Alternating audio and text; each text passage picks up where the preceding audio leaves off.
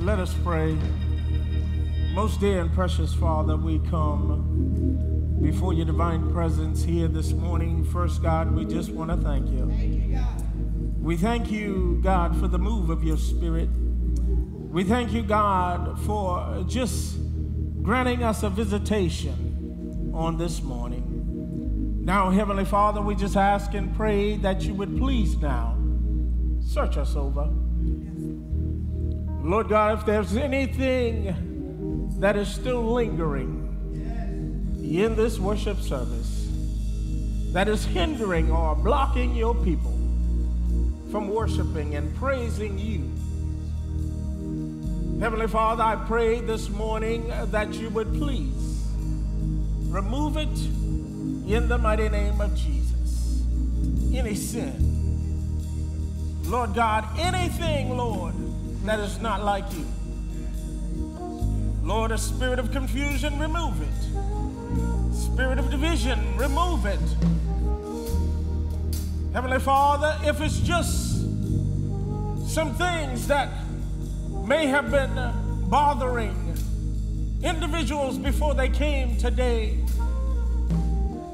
Heavenly Father, we know, God, that your anointing will destroy yokes and loose burdens. Heavenly Father, as your people release those burdens into your hands, we pray, God, right now that you would give them a release right now. Give them freedom right now, God. Heavenly Father, for we don't want your word to be hindered. But Heavenly Father, we want your word to take root in our hearts, Lord. Heavenly Father, that we may not only hear what your spirit is saying, but God, we would leave with zeal and a deeper desire in our heart, not only to be a hearer, but to be a doer. For Heavenly Father, we realize and we understand that it is the doers that makes the difference in this sin sick world. Right now, Jesus, forgive us now. Cleanse us now from all unrighteousness. Heavenly Father, and as you cleanse us and forgive us, breathe on us now. Send a fresh wind in this house on this morning. Let your anointing fall in these consecrated walls, Lord. Heavenly Father, send forth that Shekinah that showed up in the day that Solomon built the first temple. Heavenly Father, send that same glory cloud in the service on today. Move now, God. Touch now, God. In the mighty name of Jesus. Now, precious Father, let this word go forth. That each and every one that is under the sound of my voice, Lord, would be edified that we may be built up and strengthened on every leaning side. Speak, Jesus. Send Rhema now. Heavenly Father, as you speak today, and as you send this Rhema word, Heavenly Father, help us to be able to apply all that we would learn on today. It is in the blessed name of our Lord, our Savior, Jesus the Christ. It is in his name we pray. Come on down and put your hands together and give God a shout of praise in this place. Hallelujah. Glory.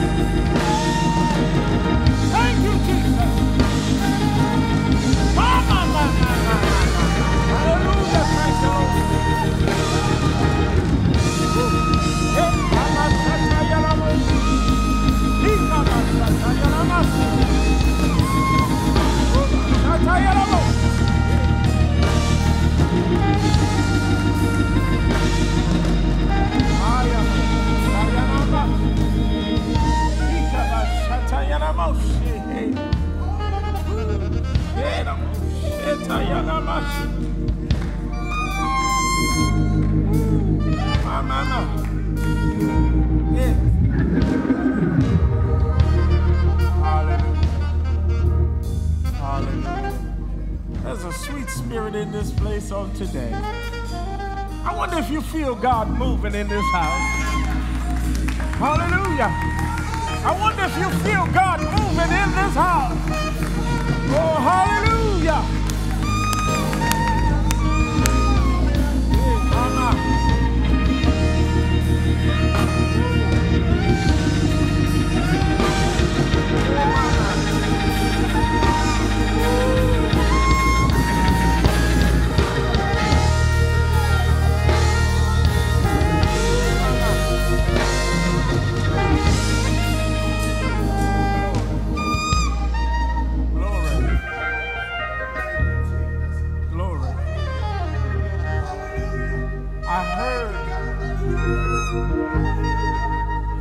Presider said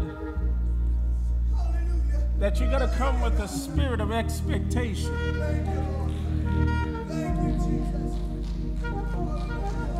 And when you come into the house of God expecting to receive something from God,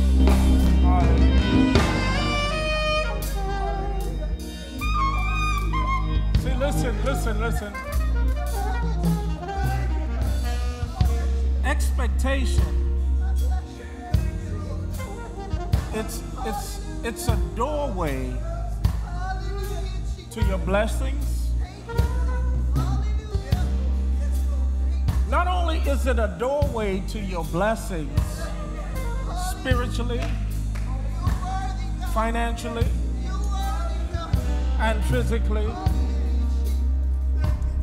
But you know, expectation is also a doorway for revelation. Because sometimes all we need is a revelation. Oh my God.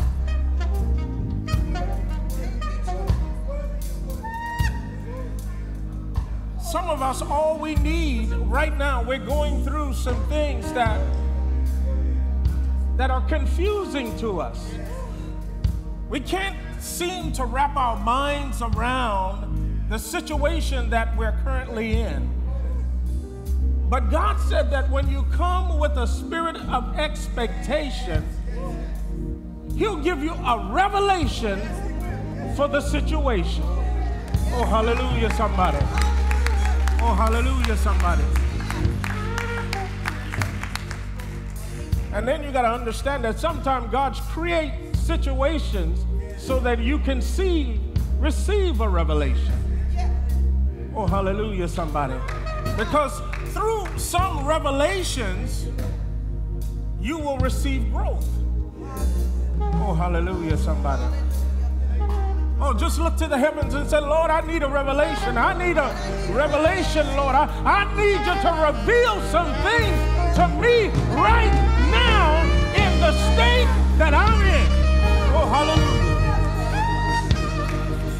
Oh, hallelujah. Hallelujah. Hallelujah. Amen. That's not my my message today, but I believe somebody is seeking a revelation from the Lord. Somebody is going through something right now and you've been praying about it and it just seems like you can't get an answer. And you're stuck at a crossroads and you don't know what direction to head in or you don't know where you should be doing or what you should be doing at this time.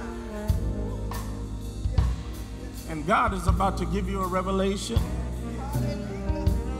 in this house on today. Are you ready for your revelation? Are you ready for your revelation? Hallelujah.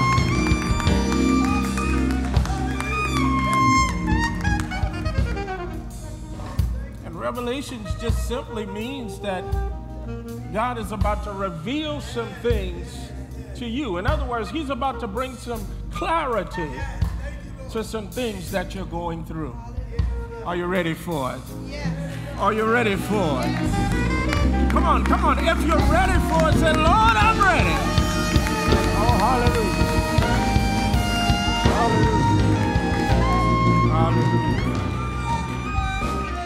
Hallelujah. First, we give an honor to God the Father and our Lord and Savior, Christ Jesus. We thank God for the precious gift of the Holy Ghost.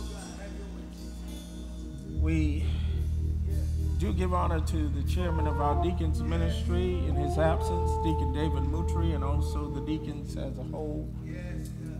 We give honor to the mother of our church, Mother Hutchison, along with the deaconess ministry and each and every one of the ministers that have graced the pulpit with me and those that are in the audience. We honor you on today.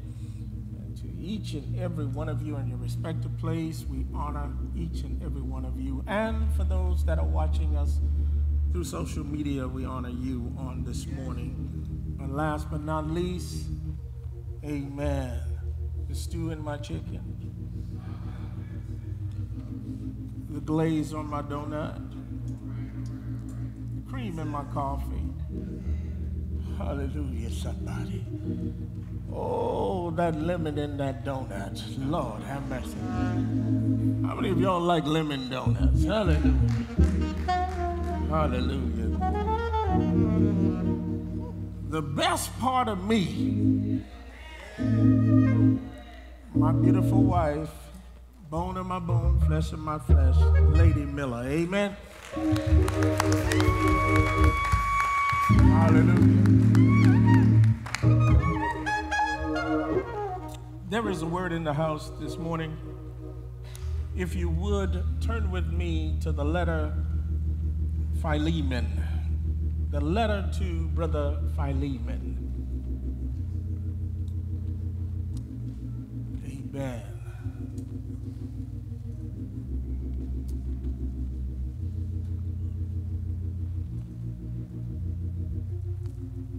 Philemon was just one chapter. Matter of fact, it's just a letter that the Apostle Paul wrote to this brother and appealing to him or asking of him a favor. It was really not so much a favor, but it was a duty for Philemon to respond to Paul in this letter in a Christian manner. Amen. It was a duty for him to do what Paul was asking him to do. Everybody got it? Philemon, Philemon. Uh, some folks might pronounce it Philemon, but it's actually pronounced Philemon. All right. Y'all with me? And we're going to read verses 4 through 18. I'm going to be reading from the New Translation this morning. I know I usually read from the King James, but I believe the New Translation kind of break this letter down in somewhat simple terms so that you can understand what Paul is asking of this brother. Amen. Once again, Philemon, verse 4 through 18. Verse 4 states, I always thank my God when I pray for you, Philemon, because I keep hearing about your faith in the Lord Jesus and your love for all of God's people. And I am praying that you will put into action the generosity that comes from your faith as you understand and experience all the good things we have in Christ. Paul went on to say, Your love has given me much joy and comfort, my brother. for your kindness has often refreshed the hearts of God's people. In verse number 8, Paul says, That is why I am boldly asking a favor of you. I could demand it in the name of Christ because it is the right thing for you to do. But because of our love, I prefer simply to ask you. He then went on to say, Consider this as a request from me, Paul, an old man, and now also a prisoner for the sake of Christ Jesus. He says, I appeal to you to show kindness to my child, Onesimus. He says, I became his father in the faith while here in prison. Onesimus hasn't been of much use to you in the past, but now he is very useful to both of us. Hallelujah. Paul went on to say in verse number 12, I am sending him back to you, and with him comes my own heart. He said, I wanted to keep him here with me while I am in these chains for preaching the good news and he would have helped me on your behalf. But I didn't want to do anything without your consent. I wanted you to help because you were willing, not because you were forced. He says, It seems you lost Onesimus for a little while so that you could have him back forever. He is no longer like a slave to you. He is more than a slave, for he is a beloved brother, especially to me. Now, he will mean much more to you, both as a man and as a brother in the Lord. Verse number 17, Paul says this. He says, So if you consider me your partner, he says, welcome him as you would welcome me. He said, If he has wronged you in any way or owes you anything, listen what Paul says charge it to me. The word of God to the people of God. Oh, hallelujah. and I want to teach from a subject this morning Forgiving is a sign of growth. Forgiving is a sign of growth. Hallelujah, somebody.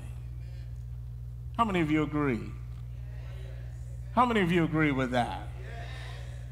Hallelujah. And I do have a subtopic this morning, and y'all know how I am. I, I like for everyone to uh, participate with the message. So if you would, please, just look at your neighbor and say, Neighbor, neighbor. Are you mature enough to forgive? Uh oh. Uh oh. Uh oh.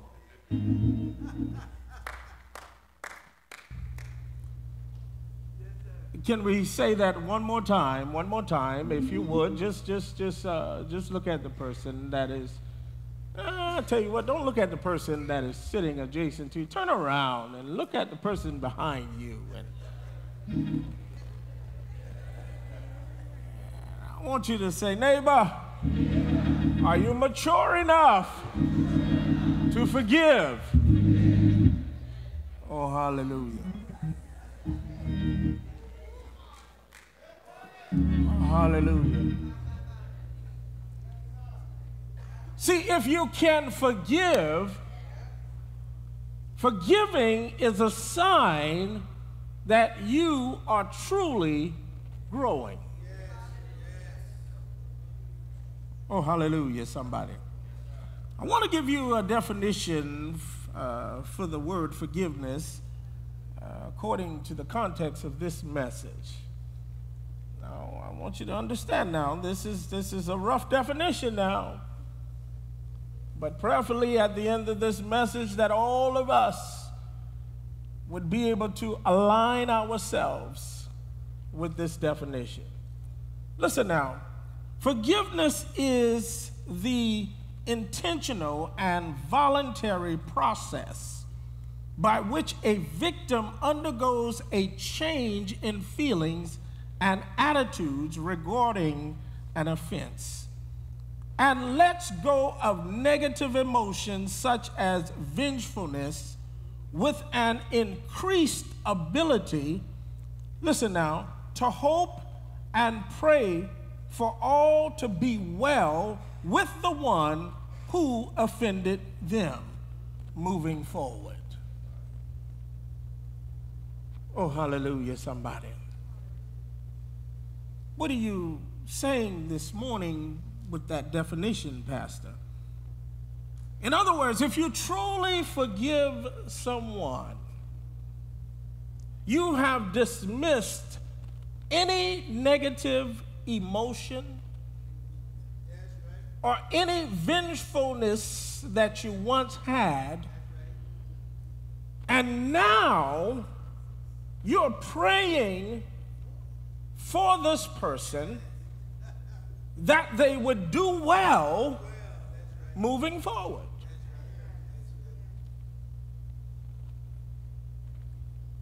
So, Pastor, that's rough right there now.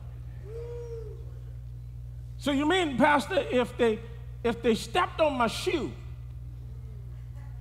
and they intentionally meant to step on my shoe. No, no, no, no. Not only did they step on my shoe, Pastor, but but but they but they spit on me.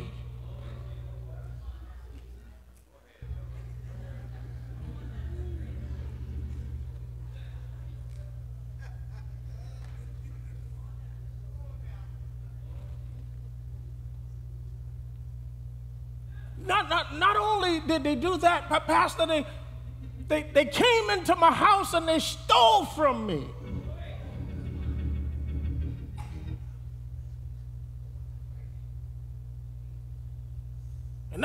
Did they steal it from me, but they even had the audacity that after they stole from me, they came back and asked me to lend them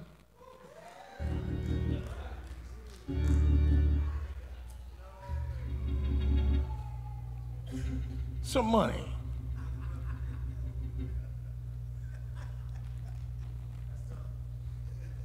So, Pastor, you're telling me that in order for me to forgive them now, I have to really just release any negative emotions I have about what they did to me. And now I have to pray for them.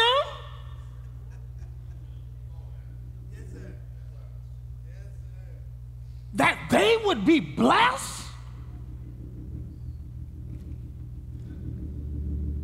And they still spending the hundred dollar that they stole from me.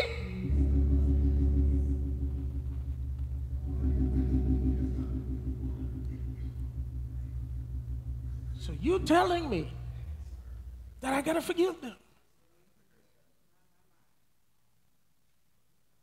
Well, Pastor, not only did they steal from me, but but but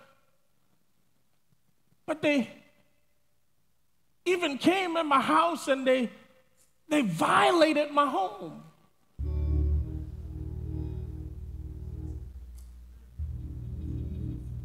So you mean to tell me that I, in order for me to forgive them, I have to just let all of that go and pray that God would bless them. After they had cursed me,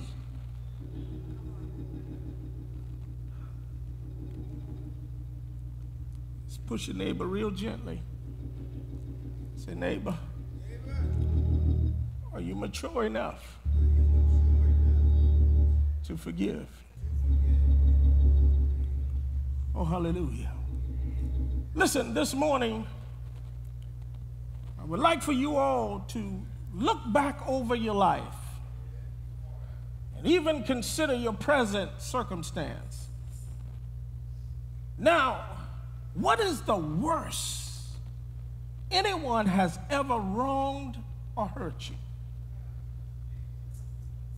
And I'm not asking whether or not you have ever been hurt. Because you know why? Because none of us lives in isolation. And listen, to be alive and to interact with other people, we are subject to being hurt. Oh, hallelujah, somebody. Am I right about it? Listen, it may be or may have been a parent or a guardian that hurt you. May have been a spouse or a boyfriend or a girlfriend, a brother or a sister, or just a close friend, or a church member that wounded you deeply. And he or she may have taken advantage of you, or perhaps has caused you some very deep wounds that you're not sure you can ever forgive them. In other words, every time you hear this person's name, when the name come up, you get all knotted up on the inside. And you know why this happens to you when their name comes up? It's simply because you have not yet forgiven those individuals. And then let me let me help you know, you know, sometimes people can offend us and they are clueless to the fact that they did. I know some of you saying, Pastor, that ain't, they know it well. That's possible. But it is. Because everybody is not like you. Everybody is not as sensitive as you are. And so, listen, when that happens, if somebody has offended you, the best thing that you can do is do what the Bible says do and go to that person, but go to them in love. And then once you have taken it to them in love, listen, if they don't accept, they said, Well, I ain't done nothing to you. You better get out of my face.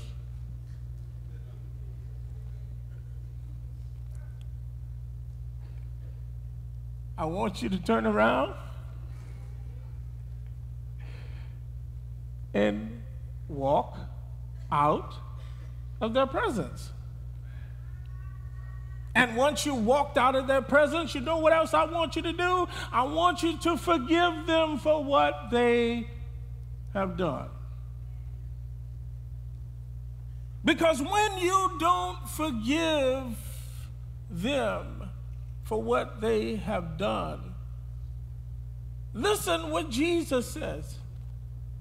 He says that if you don't forgive the offender, then your Father, which is in heaven, when you go to him praying, he will not forgive. We in the Word, we in the Word, am I right? So you got to forgive them. You got to forgive them regardless if they uh, ask for it or not. You just have to forgive them. And listen, it's going to benefit you.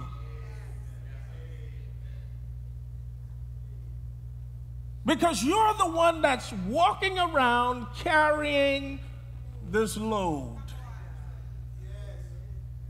Oh, hallelujah, somebody. What are you saying, Pastor Miller? I want to just drop a little spiritual nugget on you, and I want you to really just think about what I'm about to tell you. Listen, the Lord says today, for those of you that are harboring unforgiveness, He says this He says, it's time to heal the hurt you didn't deserve. You hear that? He said, It's time to heal the hurt you didn't deserve. Okay, you say, Well, Pastor Miller, how can I heal that hurt? Well, listen, the only way that you can heal the hurt that you didn't deserve is that you must forgive. See, only you have the power to heal that hurt. The power is in your forgiveness. And once you forgive them, then what happens is that hurt then is healed. Because it's no longer now a burden that you have to walk around and carry. And understand what the Word of God says. Jesus says, Vengeance belongeth unto him. And most people will say, Well, Pastor Miller, you're saying all I got to do is forgive him and then Jesus is going to avenge me. I don't want that to be your motive to forgive. Because if that's your motive to forgive, then God, somebody will get it in a minute. I want your motive to be driven by love. Oh, hallelujah, somebody. In other words, we got to think more like Christ. Listen what Jesus did, and I'm going to get into text, but listen what Jesus did. Here it is. He's laying there on the cross. Didn't commit one sin at all. But we understand what he was doing because Isaiah told us that he would do this. Isaiah said that he would be wounded for our transgressions, he would be bruised for our iniquity. He said that the chastisement of our peace was upon him, and with his stripes that we are healed. Now look at Jesus. He's on the cross. Stakes driven in his wrists, stakes driven in his feet. And he slumped over there and he's about to give up the ghost. But look what he does at this moment. He looks up towards heaven and he said, Father,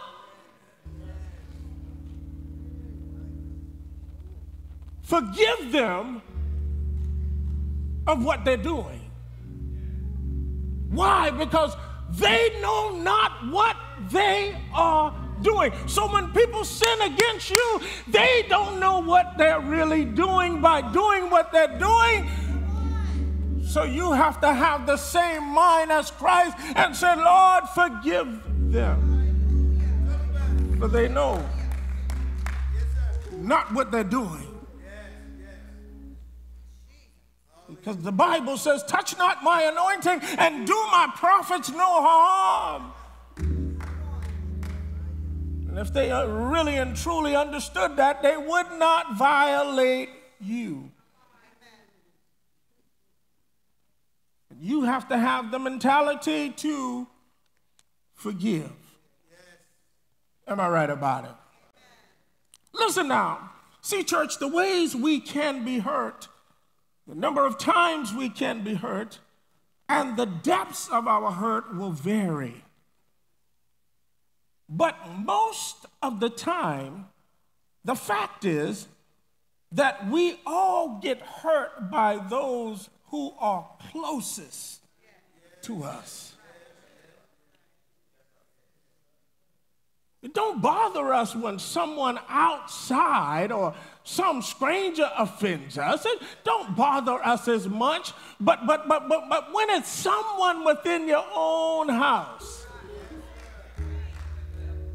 when, it, when it's someone that, that, that you uh, really think a whole lot above, uh, uh, when it's someone that has been close and dear to your heart,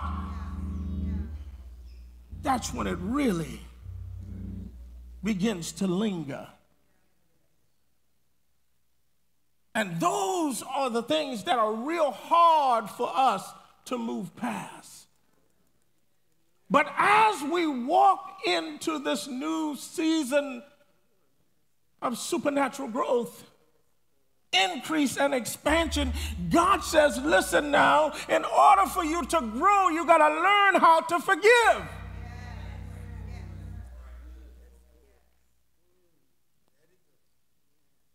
You have to learn how to forgive. Hallelujah. Listen now. That is what I want to talk to you about today forgiving. Listen, from this personal letter written from one Christian brother to another making an appeal for forgiveness and restitution. See, church, listen, sometime uh, during Paul's ministry in Ephesus, he met this man named Philemon. And while we don't know how he made his living, Philemon was a wealthy slave owner who had been converted by the Apostle Paul. He didn't live in Ephesus, but evidently he frequently visited the city and now had a church meeting in his home. Now, Paul, on the other hand, had been away for some while and was now in prison in Rome. And during his time in prison, one of Philemon's slaves by the name of Onesimus ran away. For some unknown reason, the Bible doesn't tell us why. Uh, now, he might have stolen something from Philemon, or perhaps he might have just wanted his freedom. And some scholars have even said and suggested that he was sent to Paul by Philemon, but had failed to return. But whatever the case may have been, Onesimus ended up in Rome in Paul's company and where he became a born again believer in Jesus Christ. Now, I want you to understand this now. Onesimus, he served Paul for a while, but soon he became convicted of his need to return to his master Philemon and put his past life into order.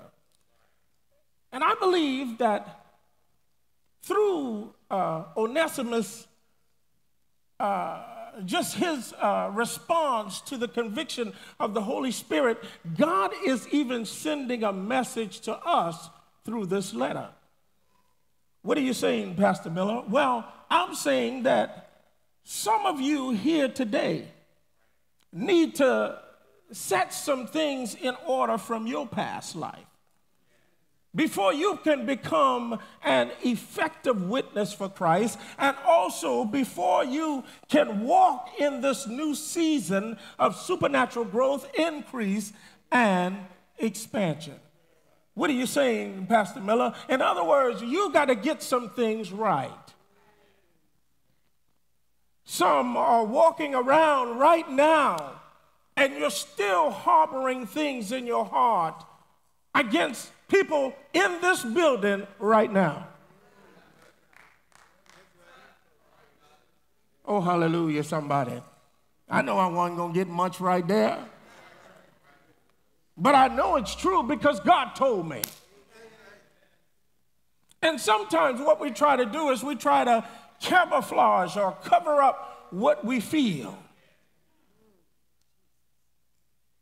But every once in a while, those things will expose themselves. Oh, hallelujah, somebody. And especially sometimes when, when you have to work with this individual uh, with a project. And you're working with them with a project, but you, you, you're actually working with them with this project, but actually your mind is trying to find different errors that they are doing or mistakes that they are making with the project just to try to put the light on them and their flaws. And this is just your conniving way of getting revenge because of an offense they brought against you. Oh, look at somebody and say, It got to stop. It's got to stop. It got to stop. What are you trying to get across to us, Pastor Miller? What I'm saying to you is that you got to forgive. And to make matters even worse, sometimes you have a husband and a wife. And they're still battling with offenses. And you see it in their behavior because they have not found it in their heart yet to let go of the offense. Oh, hallelujah, somebody. And then, on the other hand, the Lord showed me something else. Some of you, the individuals that have offended you, they dead.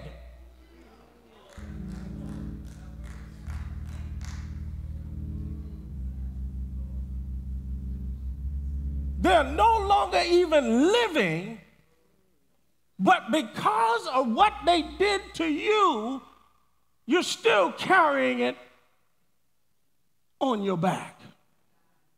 And then let me show you how conniving the enemy is. The enemy will even have you to take that grudge that you have on that deceased person, and now you'll take that grudge against their family.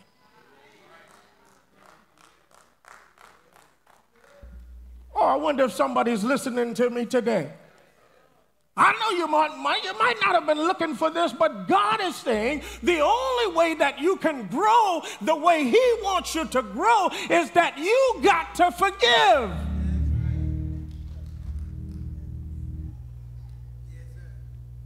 Some of you right now, you're in your second marriage, but you have not forgiven the first spouse that you had. And now, your current spouse, oh my God.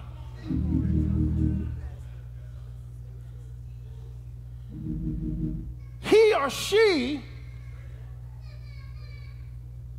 is being penalized for what this person did to you years ago.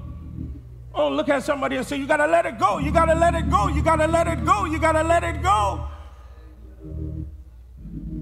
And that's the problem that we have in the house now. But listen now, Paul was writing this letter to Onesimus.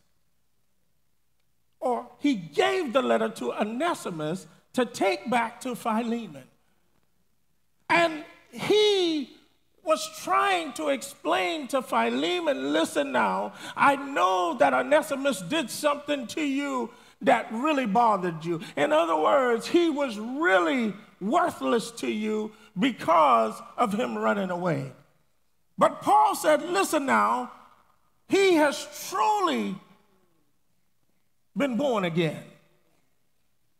And he is been convicted by what he did to you. So now I'm sending him to you with the letter. Letting you know that he is sorry for what he did. So he was asking Philemon to forgive him. And we understand and we know that Philemon forgave Onesimus. Why? Because we're reading the letter. Hallelujah, somebody. Oh, hallelujah, somebody. And not only that, but history records to say that Onesimus became the first bishop of the church in Ephesus. So we knew by history recording that that he had to been forgiven by Philemon. Am I right about it? So, what are you trying to get across to us this morning, Pastor Miller? And listen, I do have some more to this message, but what I will do is I will bring a part two of this message on the first Sunday of next month. But I want to close with this. When you walk around with unforgiveness in your heart, as I stated at the beginning of the message, you're only hurting one person.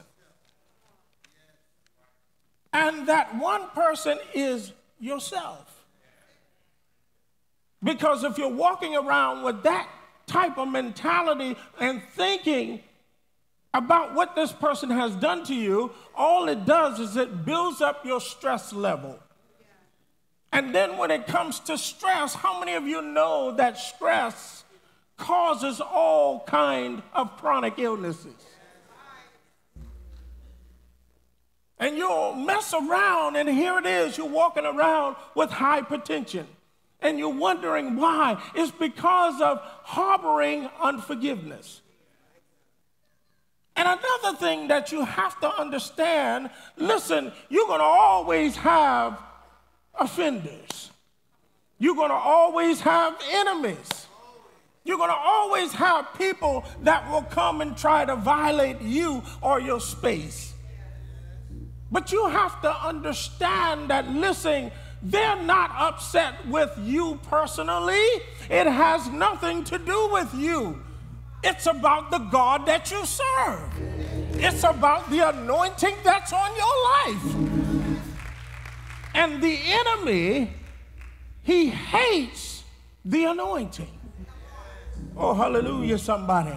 In other words, when someone's hating on you, that's not your issue, that's their issue. In other words, you don't have an issue, they got the issue because they're hating on you. Now, what you got to do is don't let people live rent free in your mind.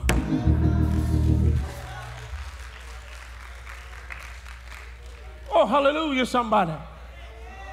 Did y'all get that? Because sometimes that's what we do. When we harbor unforgiveness, we're allowing them to live rent free in our mind. In other words, you're not going to be living in my mind, and then I got to pay for it. Oh, I wish I had a witness in the house. I wonder if I got somebody that understands what I'm saying. In other words, let the haters be haters but you be a praiser. You be a blesser. You be one that always uh, are falling on your knees uh, and giving God praises through your prayer. Oh, hallelujah, somebody. And sometimes what you got to do is you got to pray that hate out of them. Oh, hallelujah. Don't tell me you can't do it. You can do it. You can pray that hell right on out of them. Oh, hallelujah. You know why I know you can do it? Because my mama prayed the hell out of me. Oh, hallelujah, somebody. Oh, I wish I had a witness in the house. My daddy prayed the hell out of me. I wonder if you're willing to pray the hell out your head. Oh, hallelujah, somebody. What are you saying, Pastor Miller? I'm telling you that you got to forgive. Don't walk around holding that thing. Some of us are holding grudges for 50 years. Family grudges. Sometime the grudge started between the two siblings, and now the children can't get together because of what the parents had against the other parent. And it's still going, and it's still going. In other words, the enemy is the father of deceptions and lies and confusion. He wants to keep those things going, and we got to learn how to forgive and move on. Oh, hallelujah. And those that are continuously hating on you, listen, let your haters be your elevators. Oh, hallelujah, somebody. There's two directions that an elevator can take you in. An elevator can either take you up or it can bring you down. Oh, hallelujah, somebody. But when it comes to the haters, you let the haters be an elevator to take you up. Oh, hallelujah, somebody. Because when you lower yourself to their level, listen, you can't see your way up because you're too busy looking down. Change the direction of what you're looking. And when they come messing with you, take your focus off of them and begin to look up. Oh, hallelujah. And before you know it, your hater becomes your stepping stone. All they're going to do is propel you to go a little higher. All they're going to do is propel you to climb a little deeper. All they're going to do is compel you to soar a little more. Oh my God, push your neighbor and tell your neighbor, say, neighbor, it's time to forgive.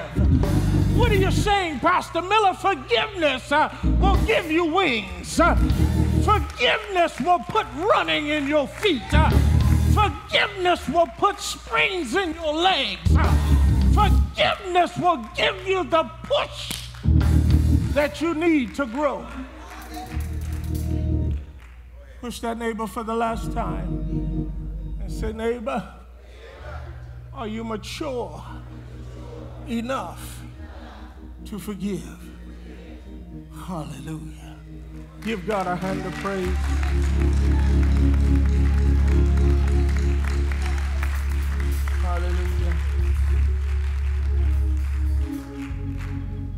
Have a part two to that message.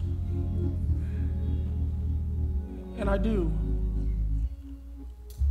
I am going to bring part two back the first Sunday of next month. But this is what I want you all to do, and I'm, I'm, I'm serious about this, please. God gave this message today because there is even some people right now that are going through sickness because of harboring unforgiveness.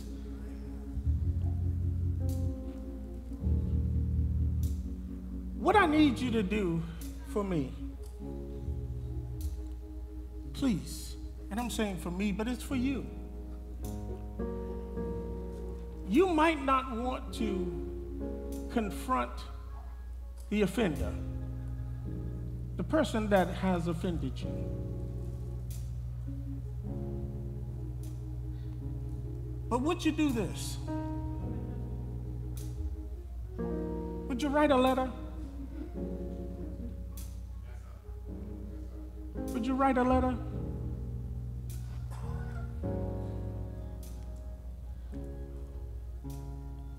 And even if this person never apologized, I want you to write a letter to this individual. And I want you to tell them that you forgave them. Let them know that what they did to you, it hurt. And it was something that you've been carrying for a minute, but you have to now release it. Let them know that you were in church today and the Lord was speaking directly to you. And you no longer want to carry that burden of unforgiveness anymore. So you're writing this letter letting them know that you have forgiven them. And if some of you, you, and I want to write the letter, how many of you got cell phones? Everybody got cell phones? Now, I want you to be honest.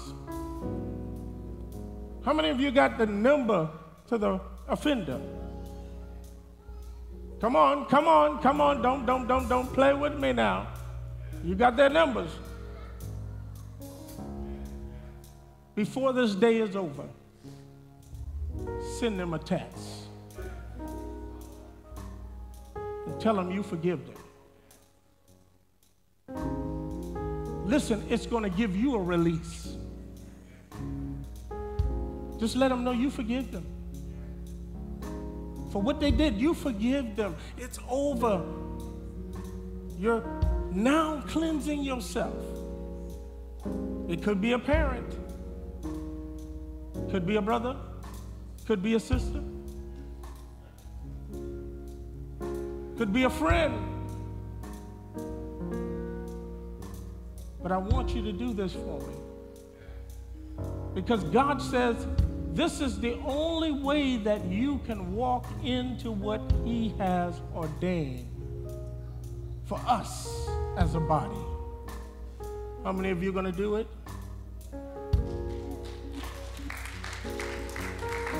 Get your release. Get your release. Don't let this message go forth and you not be obedient.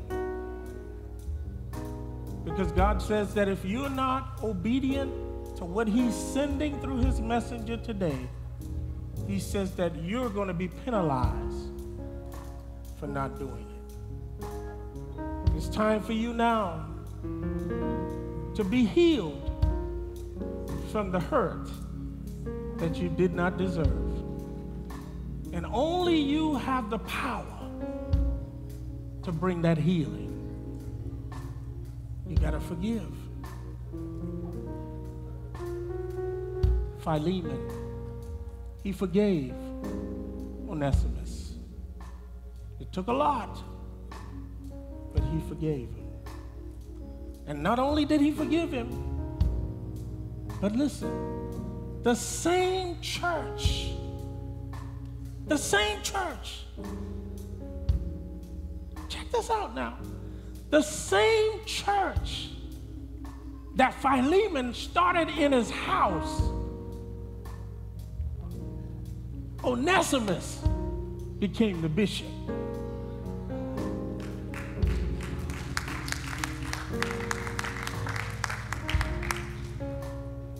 Philemon used to be his owner, his overseer. But now, in the realm of the church, Onesimus became the bishop, the overseer of the house of God. That took a lot. But he forgave him. And that church was blessed. Oh, hallelujah, somebody. Send the letters And by the first Sunday, when we come back in here, I want to see us all freed from the weight of unforgiveness. And can I give you a little secret? Pastor Miller gonna be sending some texts too.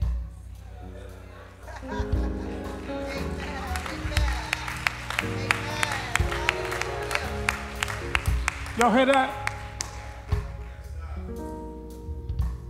Because there's some people that I got to forgive. There's some people that I got to let some things go.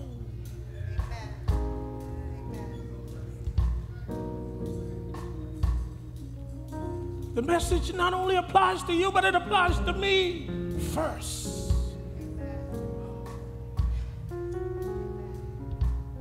Sending some texts because I've been hurt. Lord knows I've been hurt. But I've came to the realization that in order for me to grow, and in order for me to be forgiven, I got to forgive. Oh, hallelujah, somebody. Come on and give God a praise.